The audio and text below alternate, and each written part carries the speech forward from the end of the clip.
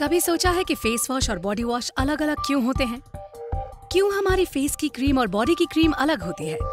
Let's find out आपके face की skin होती है थोड़ी ज़्यादा सेंसिटिव इसलिए उसे चाहिए एक्स्ट्रा केयर तभी तो ट्राइडेंट लाए हैं Fabo face and body towel India में पहली बार एक ही टॉवल में दो अलग हिस्से, एक फेस के लिए, दूसरा बॉडी के लिए. खास एलोवेरा से ट्रीटेड फेस वाला हिस्सा रखे आपकी नाजुक फेस स्किन को रिफ्रेश्ड और एंटीबैक्टीरियल बॉडी वाला हिस्सा बदबू फैलाने वाली बैक्टीरिया को पनपने न दे। Trident Fabo face and body towel अब हाइजीन के साथ नो कॉम्प्रोमाइज